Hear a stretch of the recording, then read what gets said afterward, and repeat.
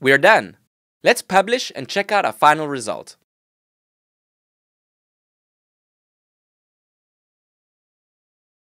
Cool.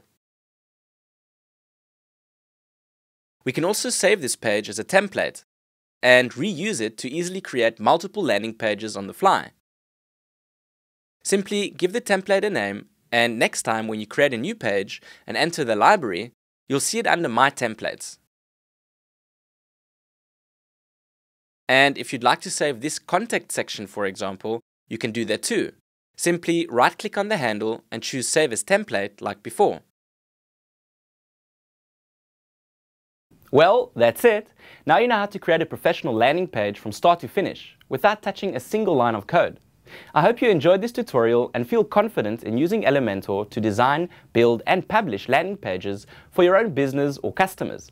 Ciao for now.